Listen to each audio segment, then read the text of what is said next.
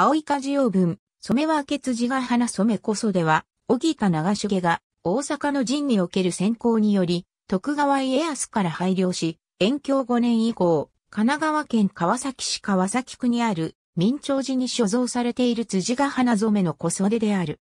高度な絞り染めの技術によって描き出された、釜葵、梶用の文様などがその特徴として挙げられる、辻が花染め小袖の完成型とされており、重要文化財に指定されている。16世紀以降、ひたたれのような伝統的な袖の大きなお袖の下に着用していた小袖が表化していく。また、表意化した小袖の下に着用する肌着としての小袖も発達していく。またお袖の模様は主に折によって付けられていたが、16世紀以降発達する小袖では染色によって模様をつけることが主流となる。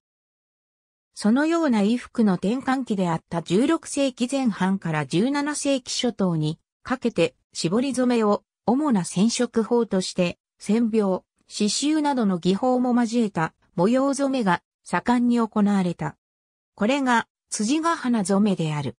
青い梶用文、染め分け辻ヶ花染めこそでは他の徳川家康着用と伝えられている衣服とその特徴がよく一致している。材質、形態的にも桃山時代の小袖の特徴をよく示している。材質は絹である。表地は練り抜き地で、裏地は白練り糸の平織りである平木縫であり、薄綿入りの合わせ仕立てのため、通常の小袖よりもやや厚めである。練り抜きとは縦糸に練りの工程を経ない生糸、横糸にセリシンなどを除去した練り糸で織られた平織の絹織物である。室町時代中期以降、安土桃山時代から江戸時代の初頭にかけて広く用いられた。練り抜き地は薄手でかつ張りがある生地であるため、辻が花染めの特徴である縫い絞り染めによって様々な文様を染め出すことができた。そのため多くの辻が花染めでは練り抜き地が用いられた。しかし天正年間から慶長年間にかけて日本に主須式やちりめんの技法が伝えられると急速に使われないようになり、慶長年間より後になるとほとんど見られなくなる。また、練り抜き地は練りの工程を経ないキートが使用されている縦糸の痛みが早く、縦糸が切れることによる横方向の亀裂が進みやすい。青い梶用分、染め分け辻が花染め小袖でも横切れが多数確認されており、慶長年間までに作られた辻が花染め小袖の特徴を示している。小袖の身幅取りつつま、福島 P111 を参考に作図。寸法は、三丈 128.5cm、雪 58.5cm、袖丈 48.5cm、襟幅 14.2cm、あと身幅 38.0cm、立妻 36.0cm である。小袖は時代によってその型が変わっていくことが知られている。中でも中世末期から近世諸島にかけては前述のように大袖の装束系の衣服から袖口が小さな小袖が衣類の中心的存在となっていく時代にあたっており、小袖の形態的にも転換期となっていた。中世末期から近世初頭の小袖は身幅が広い、立妻が短いなど、近世初頭以降の小袖とはその型が大きく異なる。江戸時代中期には、身幅は約30センチメートル、立妻は60センチメートルから70センチメートルになっており、青い鍛冶用分、染め分け辻が花染め小袖は、他の徳川家康が使用したと伝えられている。辻が花染め小袖と同様に、後世の小袖と比較して、広い身幅、短い立妻となっており、中世末期から近世初頭に制作された小袖の型を示している。中世末期から近世初頭にかけての小袖のデザインは、一定の区画に模様を配置する、肩裾、段変わり、または全体に模様を配置する、総模様をとっていた。青い鍛冶用分、染め分け辻が花染めこそでは、肩と裾を紫色に染め、腰回りを白地とした上で、肩や裾に模様を配置する、肩裾形式のデザインである。戦国時代の古実家、伊勢定順が天文17年に表した武家古実書には、武家の小袖は、腰回りが白地の腰焼きで、門付きのものが清掃として好ましく、腰回りが白地ではないものは略装であるとしている。青い梶用文、染め分け辻が花染めこそでは、腰回りが白地の腰焼きであり、武家古実に準拠したデザインとなっている。なお、武家古実における清掃としての小袖である腰焼きは、後に江戸時代中期以降の武家小袖のスタイルである、のしめへと形式化されてゆく。青い梶用文、染め分け辻が花染め小袖は、のしめ小袖の源流であるとも評価されている。模様は、まず、背中、袖、胸の合計5箇所に、三つ葉葵の門をつけている。三つ葉葵門の大きさは、直径約8.5センチメートルであり、円形に白く染め抜いた上にもエギ色、ヒワ色、紫色、黄色の4色の糸で刺繍して、紋章を描き出している。5つの三つ葉青い門はそれぞれ異なった色糸の組み合わせで刺繍されており、すべて違った色使いの門に仕上がっている。肩と裾には、鴨青い、腰部の白地は、梶用を絞り染めの技法で描き、梶用の茎は墨による手書きの描線で表現している。そして鴨青い、梶用とも絞り染めの技法を用いて、刃に一二滴の炉を配している。このように高度な絞り染めの技法を駆使して、鴨青い、梶用や葉の上の炉を指かつ繊細に表現しており、辻が花染めこそでの完成形であり、全体として素朴さを失わない中に、気品や照射な雰囲気が感じられる夕品であると評価されている。模様の全体的な配置は、福地の余白部分を活かしながら、全体的な効果を考えつつ、模様を散らしている。これは服を着用した家康の思考の繁栄であると考えられるとともに、絞りの技術的な進歩に伴って、より洗練されたデザインを見せるようになった辻ヶ花染め後期の特徴の一つを示すものとされる。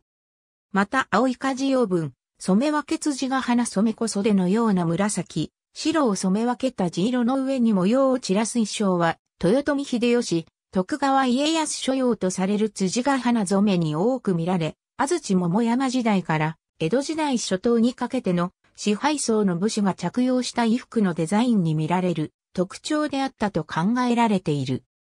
そして安土桃山時代から江戸時代初期にかけて徳川家の支配が確固になるにつれて三つ葉青い門の紋章としての様式が定まっていくが、青い梶用文、染め分け辻が花染めこそでの三つ葉青い門は、配置場所が様式が定まった後の位置とは異なっており、様式がまだ固定していない時期のものであることがわかる。徳川家康徳川家康が着用したと伝えられている辻ヶ花染めこそでの数は35点確認されている。これは現存する辻ヶ花染めこそでの大多数を占める。また家康が着用したとされる辻ヶ花染めこそでのうち、青い梶用文、染分け辻ヶ花染めこそでなど15点が、保存状態が良い貴重な服飾資料として、重要文化財に指定されている。家康着用と伝えられている衣服は、伝承した経緯によって二つに分けられる。まず、青い梶用文、染分け辻が花染めこそでのように、先行に対する報奨などで、家康から家臣へ下賜したものである。もう一つは、家康の没後、片見分けとして、家康の親族である、御三家に分与されたものである。家康の寺位を務めた、板坂占い祭は、家康は、豊臣秀吉財政の頃から、出入りの呉服商であった、茶屋四郎次郎などの上等な小袖を、進化に気前よく貸ししていたと記録している。死後、東照大権現として神格化されたため、家康の衣服は大切な品として保存されるようになり、比較的多く衣服が現在まで残った。とりわけ進化が配慮した衣服は、先祖の名誉、誇りとして極めて重要な家宝となって、片見分けとして分与を受けた御三家を上回る低調な扱いをされていたと考えられる。なお、大阪の陣の先行に対する報奨として可視された青い梶用文、染め分け辻が花染めこそでは、家康の裁判年に制作、着用していたものであると考えられている。家康から可視された衣服の中では、羽織のような表意よりも、肌に近い、お肌付きの小袖の方が家康による親近感の表れとして名誉なものとされた。また、三葉葵の門がついているものは、ついていないものよりも格上である。三つ葉葵の門付きの家康遺品の衣服は歌詞用に作られたものではなく、家康本人が着用するために作られたと考えられている。また前述のように青い舵用文、染め分け辻が花染めこ袖のデザインは伝統的な肩裾形式であり、これらのことから通常家康が使用していたお肌付きの肌着を大阪の陣で先行を挙げた小木田長重に大きな功績を挙げたことを称するために可視したと考えられる。後に徳川家康から青い舵用文、染分け辻が花染めこ袖を可視されることになる。小木田長重は永禄5年に生まれた。父の小木田孫十郎は上杉謙信に仕えた武将の一人であったが、長重が幼い頃に亡くなり、父を亡くした長重は母によって育てられた。新編武蔵風土機構に記されている、小木田長重の子孫が所持していた古文書によれば、天正5年2月17日、長重は上杉謙信から長の一時を拝領している。上杉謙信は天正6年3月13日に没した。妻をめとらず実施がなかった謙信の後継者として養子の上杉景虎と上杉景勝が候補となった。影虎と継承は後継をめぐって争い、上杉家の家中を二分する激しい構想であるお盾の乱が起きた。長重は、お盾の乱では、継承側に立って活躍した。中でも天正7年2月1日に、影虎側の主力武将の一人、北条影広を討ち取った功績は大きかった。2月3日には、長重の功績を称える継承からの感情が出され、お盾の乱が継承の勝利に終わった後、長重は糸魚川城主となった。その後長重は青海の勝山城主となった。しかし長重は文禄3年までは上杉景勝の家臣であったことが確認されているが、その後、上杉家中を離れた。長重が上杉家中を離れた時期や理由には諸説がありはっきりとしない。その後、一旦、豊臣秀治の家臣となったとの説もあるが、やがて、徳川家康の子、結城秀康の家臣となった。大阪夏の神病部、結城秀康に仕えることになった小田長重であったが、当初は低い地位に置かれていた。しかし、秀康の父、家康が、お盾の乱時における長重の活躍ぶりを知ると、これほどの武勇の死を粗末に扱うものではないとして、一万国に加増させたと伝えられている。結城秀康の死後は、この松平忠直に仕え、大阪の陣では、忠直の重臣として出陣し、活躍した。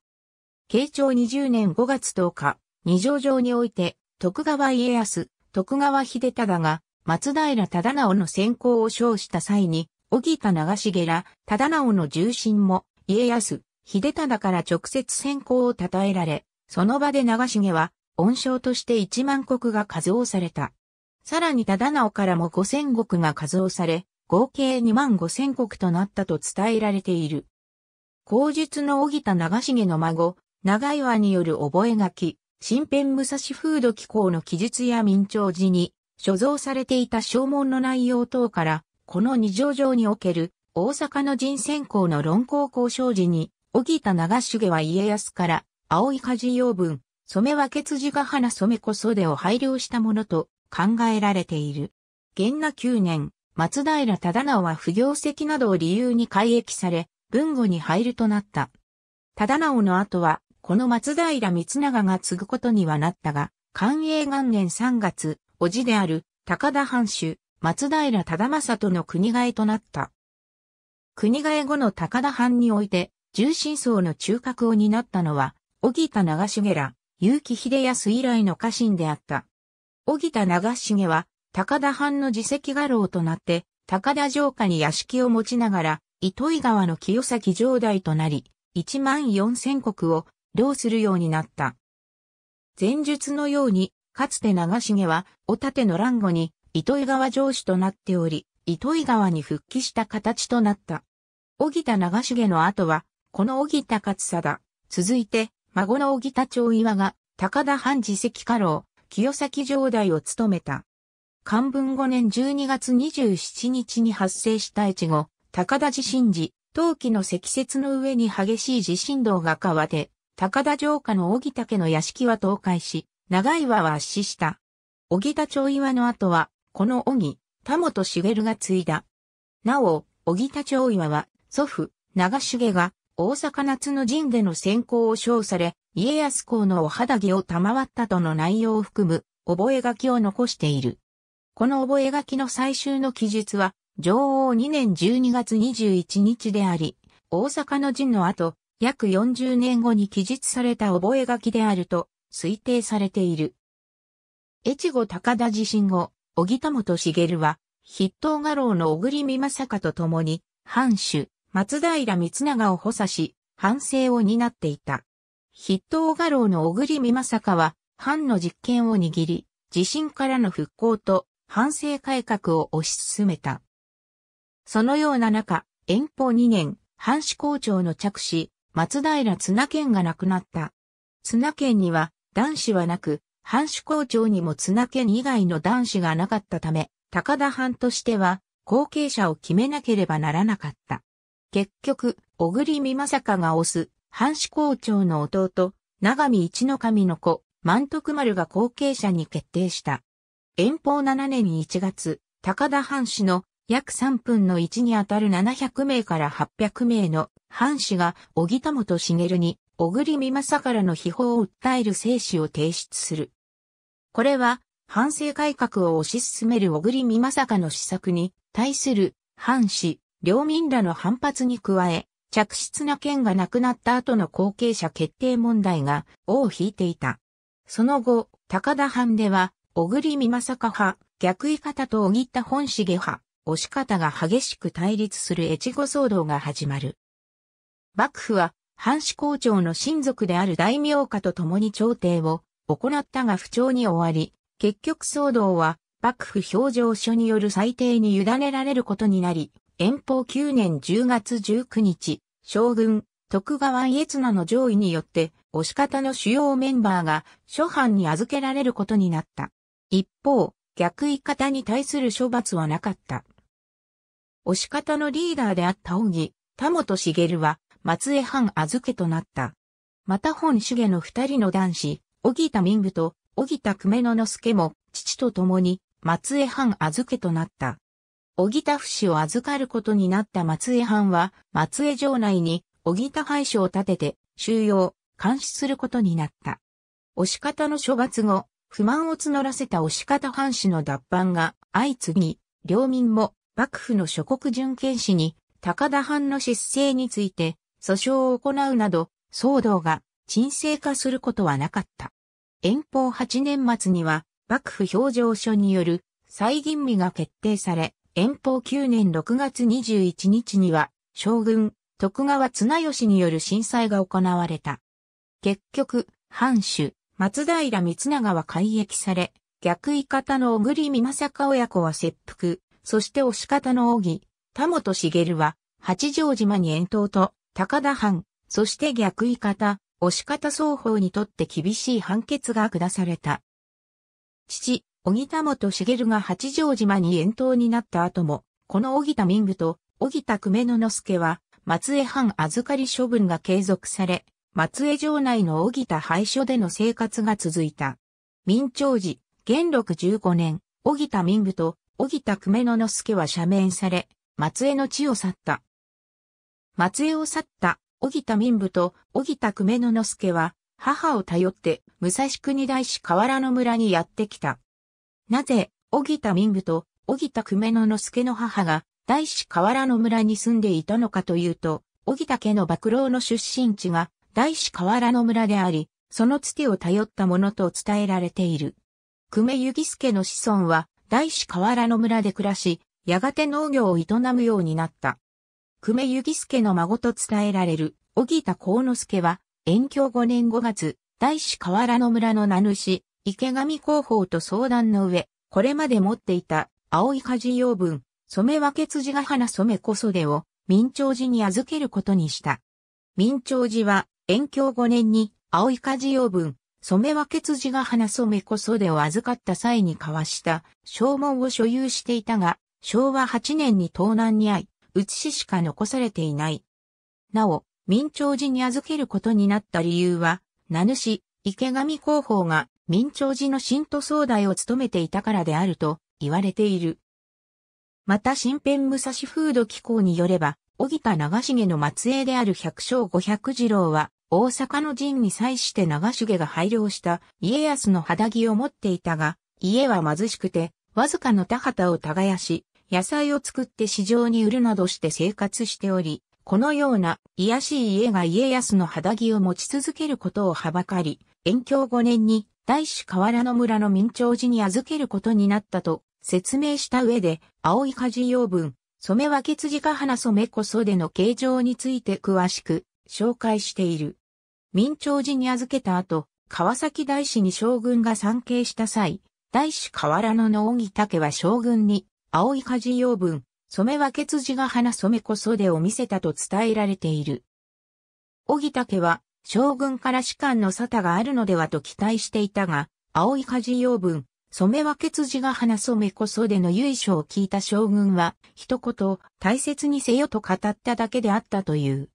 昭和36年9月19日、桃山時代の辻が花染めの特徴を示す貴重な工芸品であるとして、青い梶用文、染分け辻が花染こそでは、川崎市の重要歴史記念物に指定された。しかしその知名度は低かった。川崎市の文化財担当者は、文化庁に、青い梶用文、染分け辻が花染小袖を持参し、専門家に見分してもらうことになった。